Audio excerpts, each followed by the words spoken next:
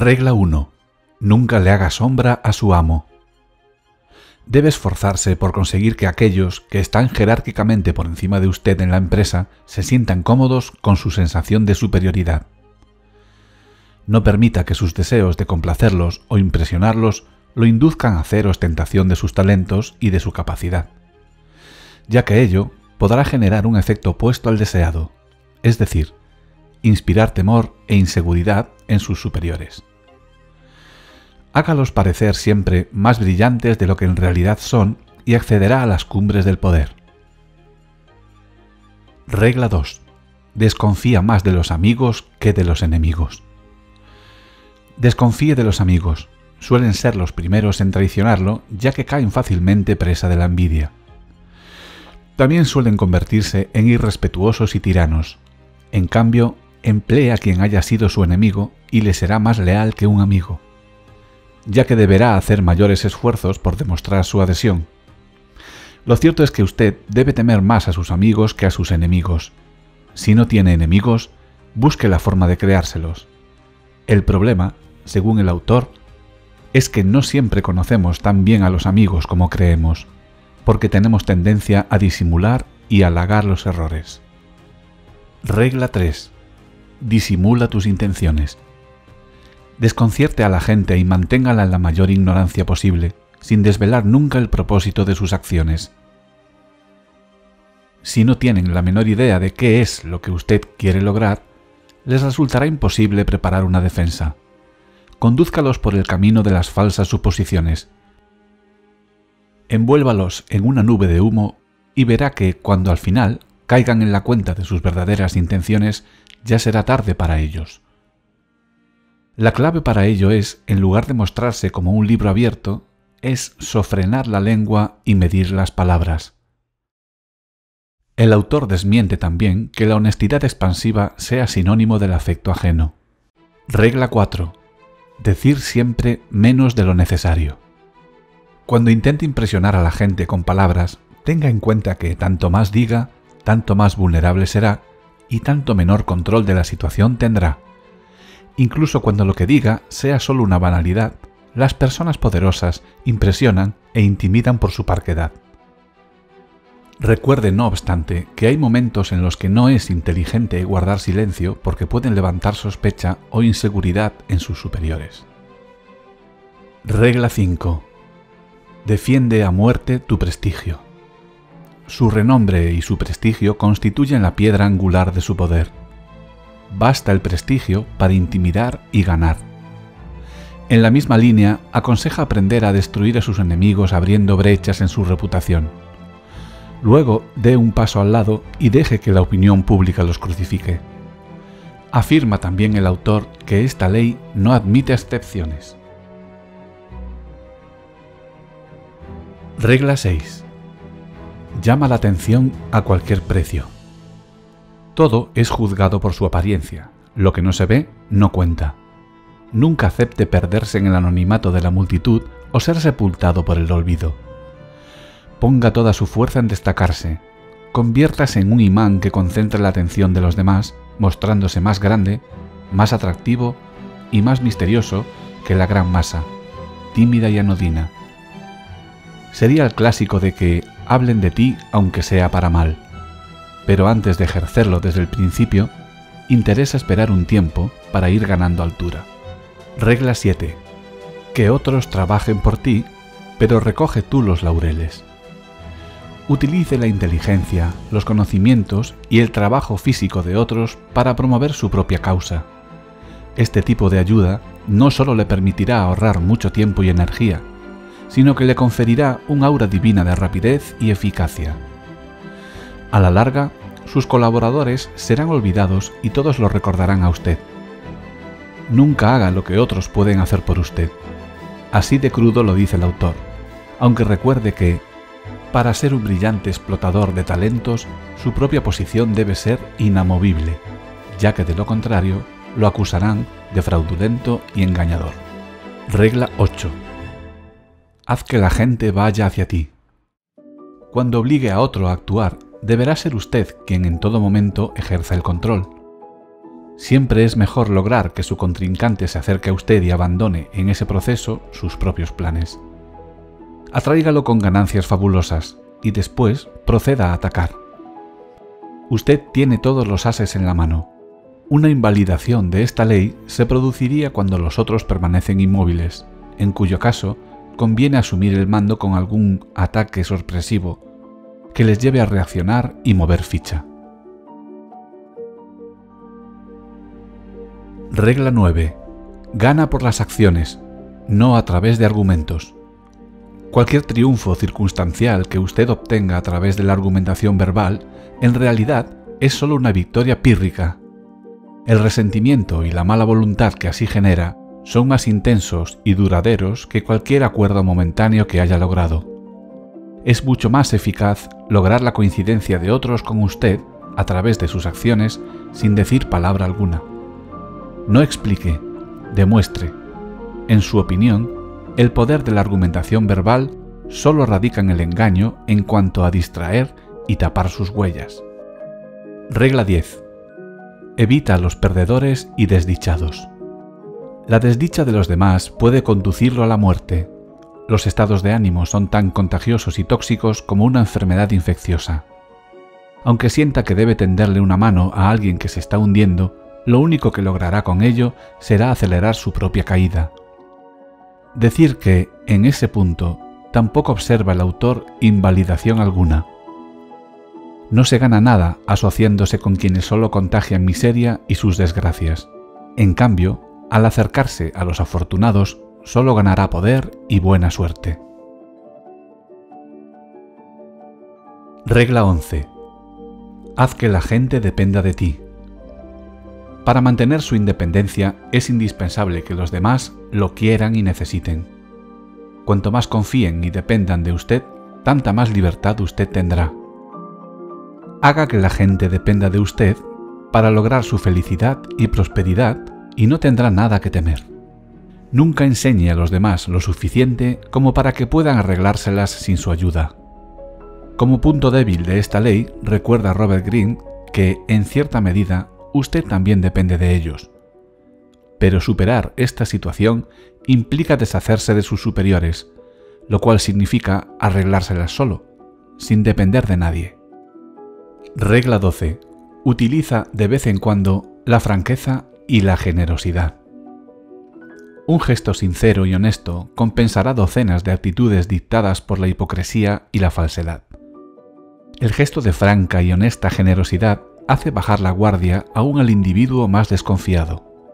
Una vez que su sinceridad selectiva haya abierto una brecha en la armadura del otro, podrá manipularlo y embaucarlo a su antojo. Claro que administrar esta ley requiere de cierta cautela, dado que no podrá llevarse a cabo si ya se carga con un largo historial de fraudes y engaños. Regla 13. Pide ayuda apelando al egoísmo del otro. Si necesita recurrir a la ayuda de un aliado, no se moleste en recordarle el apoyo que usted le dio en el pasado o sus buenas acciones. Lo pasado se ignora y se olvida. Si en cambio, al formular su pedido de colaboración, usted muestra elementos que beneficiarán a la otra persona y hace gran hincapié en ellos, su contrincante responderá con entusiasmo a su solicitud, al detectar el beneficio que podría obtener. Reconoce, no obstante, que hay quien retrocede ante ese tipo de argumentos, por lo que interesa observar primero la forma de proceder habitual de la persona. Regla 14. Muéstrate como un amigo, pero actúa como un espía. Es de fundamental importancia saberlo todo sobre su rival. Utilice espías para reunir información valiosa que le permita mantener siempre una ventaja sobre él. Y mejor aún, haga usted mismo de espía. Aprenda a sondear con cuidado a la gente en corteses encuentros sociales. Formule preguntas indirectas para lograr que el otro revele sus intenciones y sus debilidades. Toda ocasión es buena para ejercer el arte del espionaje. Recuerde, sin embargo, que al igual que usted, el enemigo puede utilizar la misma estratagema, de manera que lo mejor es proporcionar información falsa, algo que por cierto también puede estar haciendo su enemigo. Regla 15. Aplasta por completo a tu enemigo. Empezando por Moisés, todos los grandes líderes de la historia sabían que era necesario aplastar por completo al enemigo al que temían. En algunas oportunidades aprendieron esta lección a fuerza de golpes. Si se deja encendida una sola brasa, por muy débil que sea, siempre se corre el riesgo de que vuelva a desencadenarse un incendio. Se ha perdido más por una aniquilación a medias que por una exterminación total. El enemigo se recuperará y buscará venganza. Este punto parece ya más aplicable al campo de batalla real, aunque también contempla la posibilidad de dejar que el enemigo se autodestruya. Regla 16. Utiliza la ausencia para incrementar el respeto y el honor. Demasiada oferta reduce el precio. Cuanto menos lo vean y oigan, tanto menos necesario lo considerarán los demás. Si ya ha afirmado su posición dentro de un grupo determinado, un alejamiento temporal hará que hablen más de usted e incluso que lo admiren. Deberá aprender cuándo alejarse. La ley precisa que solo es aplicable al gozar de cierto nivel de poder porque, al principio, es casi mejor ser omnipresente. Regla 17. Mantén el suspenso. El ser humano es hijo del hábito y tiene una necesidad insaciable de sentirse familiarizado con las actitudes de quienes lo rodean. Si usted se muestra predecible, confiere a los demás la sensación de tener cierto control sobre usted.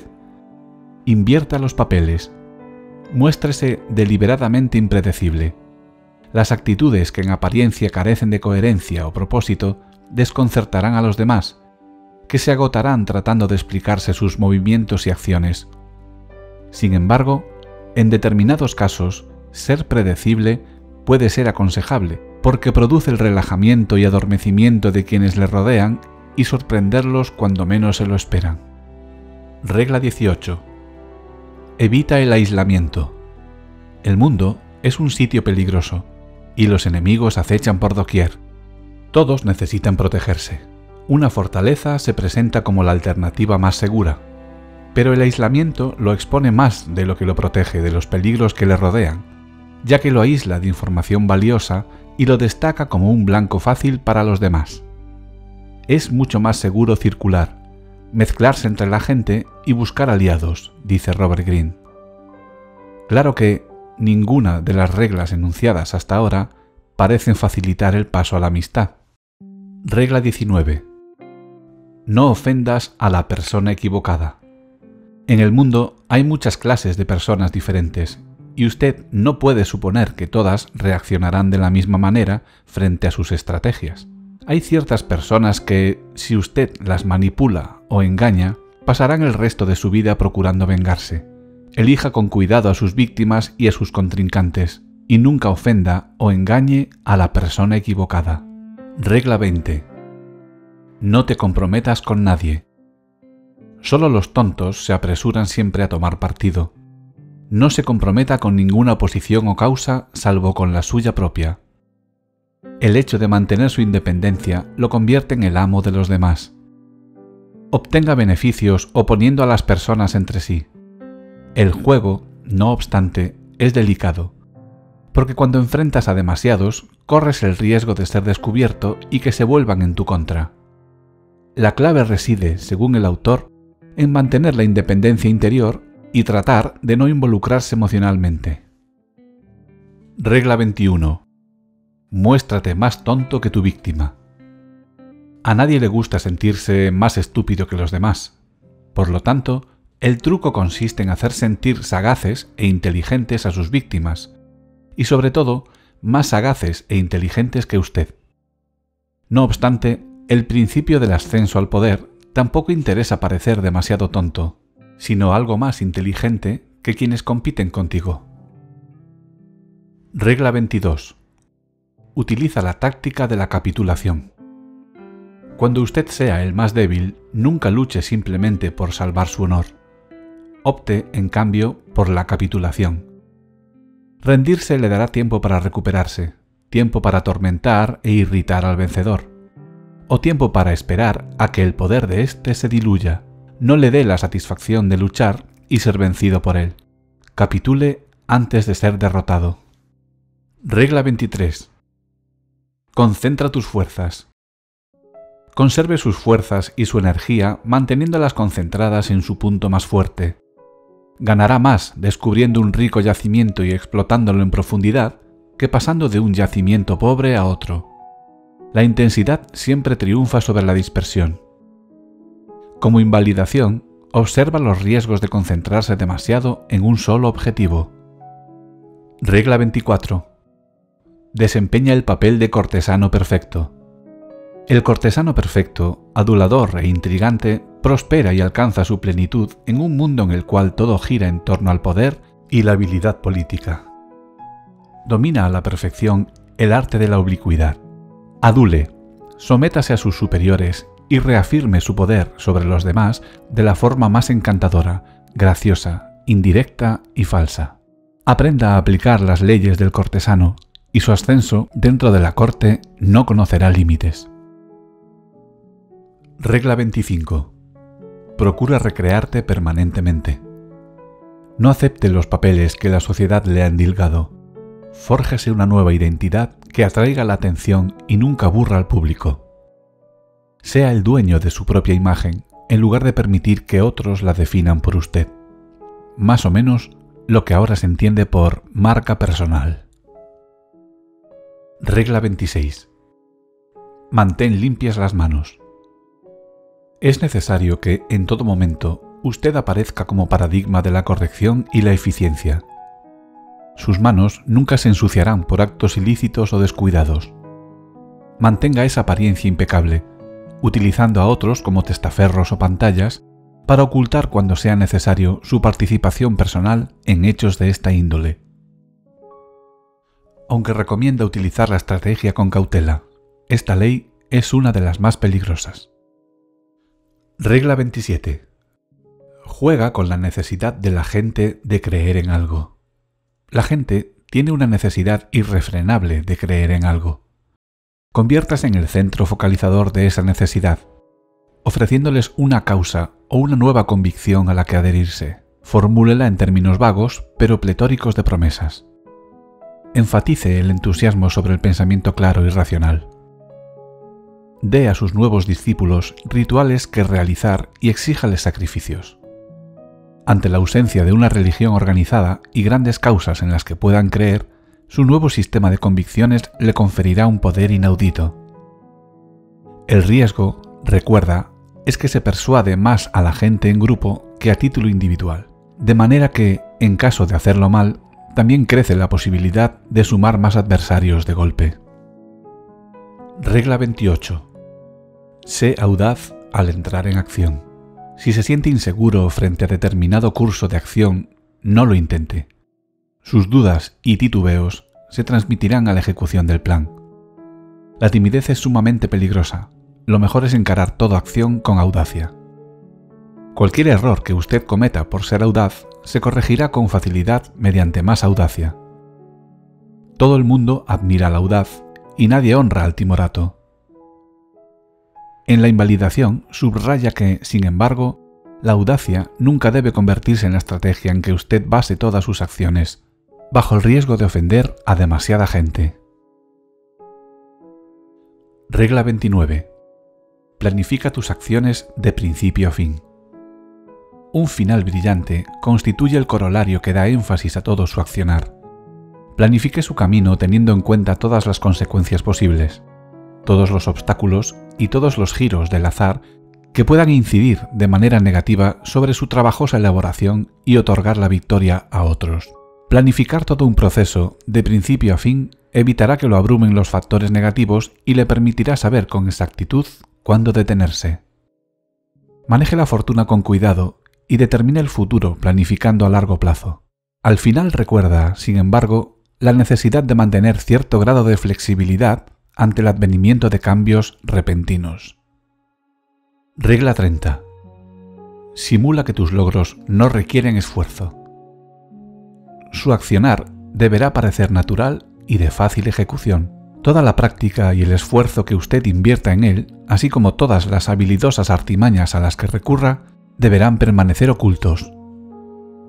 Cuando actúe, hágalo como si la tarea que tiene entre manos fuese algo de lo más sencillo. como si pudiese hacer todavía mucho más. Evite la tentación de revelar lo mucho que usted trabaja, pues con ello solo generará cuestionamientos. No le enseñe a nadie sus trucos especiales o los usarán contra usted. Se puede permitir cierta licencia para revelar los mecanismos internos siempre que sea una revelación parcial. Regla 31. Haz que otros jueguen las cartas que tú repartes. El mejor engaño es aquel que aparenta ofrecer opciones al otro. Sus víctimas sienten que controlan la situación, pero en realidad no son sino títeres en sus hábiles manos. Presente opciones que siempre le sean favorables, independientemente de cuál de ellas elijan los demás. Oblíguelos a optar entre el menor de los males y logre que cualquiera de las dos elecciones le resulte favorable. La táctica es especialmente recomendable para aquellos que tienen un poder frágil. El problema es que, al limitar las opciones de los demás, también puedes limitar las tuyas. Regla 32. Juega con las fantasías de la gente. Muchas veces se evita la verdad, porque suele ser dura y desagradable. Nunca recurra a la verdad ni a la realidad, salvo que esté dispuesto a enfrentar la ira que genera la desilusión. La vida es tan dura y problemática que aquellas personas capaces de inventar ilusiones o conjurar fantasías son como oasis en el desierto. Todos van hacia ellas. Apelar a las fantasías de las masas es una fuente inmensa de poder.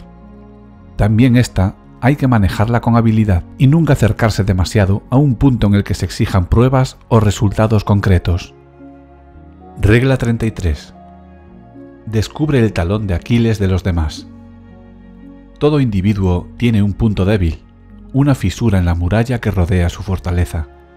Por lo general, esa debilidad es algo que le causa inseguridad, o una emoción, o una necesidad que lo supera. También puede ser un pequeño placer secreto, sea lo que fuere, una vez que usted la haya descubierto, esa debilidad se convierte en un elemento de presión que podrá manejar a su antojo y, por supuesto, siempre a su favor. Recuerde que usted también tiene un talón de Aquiles, y si no me cree, puede ver este vídeo en el que le mostraré cuáles son sus cualidades más oscuras y la forma de asegurarte que el resto las desconozcan. Regla 34. Actúa como un rey para ser tratado como tal. Su forma de actuar determinará cómo lo tratarán los demás. A la larga, una presencia vulgar o común hará que la gente le pierda el respeto, porque un rey se respeta a sí mismo e inspira el mismo sentimiento en los demás. Al adoptar una actitud de rey, mostrando confianza en su propio poder, logrará que lo consideren destinado a llevar una corona real sobre la cabeza. La táctica nunca deberá apoyarse en la humillación de los demás. Regla 35. Domina el arte de la oportunidad. Nunca demuestre tener prisa, ya que el apuro delata una falta de control sobre el tiempo y sobre su propio accionar. Muéstrese siempre paciente, como si supiera que, con el tiempo, todos sus deseos se cumplirán. Conviértase en especialista en el arte de detectar el momento propicio para cada cosa. Descubre el espíritu de los tiempos actuales y las tendencias que lo llevarán al poder. Regla 36. Menosprecia las cosas que no puedes obtener. Al prestar atención a un problema trivial, lo convierte en real y le confiere importancia. Cuanta más atención le preste a un enemigo, más lo fortalecerá. Si hay algo que usted desea, pero no puede obtener, menosprécielo. Cuanto menos interés demuestre, mayor será el nivel de superioridad que verán los demás en usted. Obviamente, hay problemas a los que necesariamente debe prestar atención y afrontarlos cuanto antes, con acciones, no con desprecio. De lo contrario, el problema se acrecentará. Regla 37. Arma espectáculos imponentes. Un espectáculo impactante y gestos simbólicos grandiosos generan un aura de poder ya que ejercen una gran atracción sobre todos. Presente espectáculos imponentes para quienes lo rodean, plenos de elementos visuales fascinantes y radiantes simbolismos que enfaticen su presencia. No se puede lograr el poder si se ignoran las imágenes y los símbolos. No hay invalidación posible para esta ley, concluye el autor. Regla 38. Piensa como quieras, pero compórtate como los demás. Si usted hace ostentación de ir contra la corriente alardeando acerca de sus ideas poco convencionales y sus actitudes heterodoxas, la gente pensará que usted solo desea llamar la atención y que desprecia a los demás. Encontrará la forma de castigarlo por hacerlos sentir inferiores. Es mucho más seguro confundirse con la masa y adoptar un cierto aire común.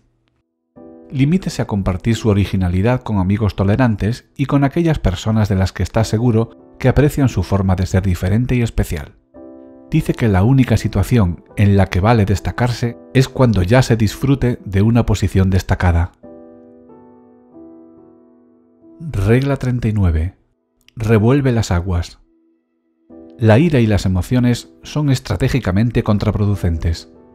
Siempre deberá mantenerse sereno y objetivo, pero si puede enfurecer a sus enemigos mientras usted conserva la calma, obtendrá una ventaja decisiva desubique a sus enemigos, descubra la grieta a través de la cual pueda sacudirlos y manejarlos. Ya sabe aquello de a río revuelto, ganancia de pescadores. Pero el autor recuerda que hay peces que más vale dejar en el fondo del estanque, así que precaución. Regla 40. Menosprecia lo gratuito. Todo lo que es gratuito es peligroso, ya que por lo general implica alguna treta o un compromiso oculto las cosas que tienen valor valen la pena pagarse. De esta manera, no estará obligado a gratitud alguna. Se verá libre de culpa y evitará fraudes y engaños. Lo más inteligente es, a menudo, pagar el precio total. Cuando hablamos de excelencia no hay gangas. Así que, si quieres aprovecharte del efecto que produce lo gratuito, sé tú quien lo ofrece. Regla 41 evita imitar a los grandes hombres. Lo que se produce por primera vez siempre parece mejor y más original que lo que viene después. Si usted sucede a un gran hombre o tiene padres célebres, deberá lograr el doble para poder superar la imagen de ese modelo. No se pierda en la sombra de esos grandes, ni se quede estancado en un pasado que no es obra suya.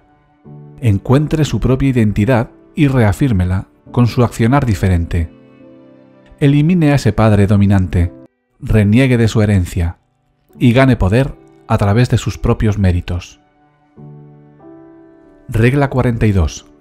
Muerto el perro, se acabó la rabia. Los problemas suelen tener su origen en un solo individuo fuerte, el instigador, el subalterno arrogante, el sembrador de inquinas y resentimientos. Si usted deja espacio para el accionar de este tipo de individuo, otros sucumbirán a la influencia del personaje.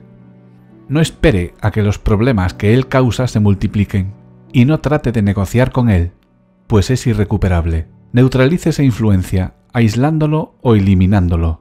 Recuerde que, muerto el perro, se acabó la rabia. Regla 43. Trabaja sobre el corazón y la mente de los demás. La coerción provoca una reacción que con el tiempo puede actuar contra usted. Es necesario lograr, mediante maniobras de seducción, que los demás se muevan en la dirección que usted desea. Una vez seducida, la persona se convierte en su leal servidor. Y la forma más eficaz de seducir a alguien consiste en manejar con habilidad las flaquezas y la psicología del individuo debilite la resistencia del otro a través de la manipulación de las emociones, jugando con lo que el otro quiere y valora, o lo que teme. Si usted ignora el corazón y la mente de los demás, terminarán odiándolo. La regla, en opinión del autor, es válida sin excepción alguna. Si quiere profundizar más en esta ley, le hemos preparado un vídeo sobre el arte de la seducción. Regla 44 desarma y enfurece con el efecto espejo. El espejo refleja la realidad, pero también es el arma perfecta para el engaño. Cuando usted refleja a sus enemigos haciendo exactamente lo que hacen ellos, sus rivales no lograrán deducir su estrategia. El efecto espejo los burla y humilla, lo cual los lleva a reaccionar en forma desmedida. Al poner un espejo frente a su oponente, usted los seduce con la ilusión de que comparte sus valores al reflejar sus acciones en un espejo, les enseña una lección. Son muy pocos los que pueden resistirse al poder del efecto espejo. La advertencia aquí es cuidarse de las situaciones que son solo reflejos o lo que creemos ver, en lugar de la situación real. Regla 45. Introduce cambios, pero no modifiques demasiado. En la teoría, todo el mundo comprende la necesidad del cambio, pero en el nivel cotidiano, el ser humano es hijo de la costumbre. Demasiada innovación resulta traumática y conducirá a la rebelión. Si usted es nuevo en una posición de poder o un tercero que intenta construir una base de poder, haga alarde de respetar la forma tradicional de hacer las cosas. Si se impone un cambio necesario, hágalo aparecer como una leve modificación positiva del pasado. Observa en este punto el autor que, al hablar de artes, moda o tecnología, parecían ser áreas en las cuales el poder proviene de la creación de una ruptura radical con el pasado para abrir nuevos caminos. Es verdad que una estrategia de este tipo puede ofrecer gran poder, pero también implica grandes riesgos. Es inevitable que las innovaciones de uno sean superadas por otros. Es algo sobre lo cual usted tiene poco control. Alguien más joven y más creativo avanza de pronto en una nueva dirección, y entonces la audaz innovación que usted impuso ayer parece hoy chata y aburrida. Es una carrera que no termina nunca. Regla 46. Nunca te muestres demasiado perfecto. Siempre es peligroso mostrarse superior a los demás, pero lo más peligroso de todo es parecer libre de toda falla o debilidad. La envidia genera enemigos silenciosos. Lo inteligente es poner de manifiesto de vez en cuando sus defectos y admitir vicios inofensivos, a fin de desviar la envidia y parecer más humano y accesible. Regla 47. No vayas más allá del objetivo original. El momento del triunfo es a menudo el momento de mayor peligro. En el fragor de la victoria, la arrogancia y un exceso de confianza en sus fuerzas pueden llegar a impulsarlo más allá de la meta que se había propuesto en un principio. Y al ir demasiado lejos, serán más los enemigos que se creará que los que logre vencer. No permita que el éxito se le suba a la cabeza. No hay nada como la estrategia y la planificación cuidadosa. Fíjese un objetivo, y cuando lo alcance, deténgase. Regla 48. Sé cambiante en la forma. Al adoptar una forma definida y tener un plan claro para todo el mundo, usted se convertirá en el blanco de ataques diversos. En lugar de brindar a sus enemigos algo concreto que atacar, manténgase flexible, adaptable y en movimiento. La mejor forma de protegerse es mantenerse tan fluido y amorfo como el agua, nunca apueste a la estabilidad ni a un orden perdurable. Todo cambia. Debes ser constante en desarrollar nuevas habilidades y mejorar las que ya posees. Para una vez conseguido, mantener y aumentar el poder. Es de esencial importancia que domines el arte de la persuasión para aumentar persistentemente tu influencia. Por este motivo te hemos preparado un vídeo con todas las claves para dominar el arte de la persuasión a través de la obra por excelencia cuando se habla del arte de la persuasión, el libro negro de la persuasión. Esperamos que lo disfrutes.